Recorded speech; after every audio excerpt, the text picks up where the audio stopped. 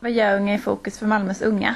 Vi underlättar bostadssituationen, vi belyser skillnaden mellan Malmös demografi och beslutsfattare, vi kartlägger ungdomsaktörer i Rosengård, vi lyfter unga medarbetare inom Malmö stad, vi anordnar en ungdomskongress, vi jobbar med områdesprogram, vi utvecklar inflytande genom sociala medier, vi undersöker ungas hemlöshet, fritidsverksamhet, kulturutövande, vi belyser ungt chefskap, vi fixar workshop för elevvård, vi ger gratiskurser för unga, vi jobbar med unga föreningar.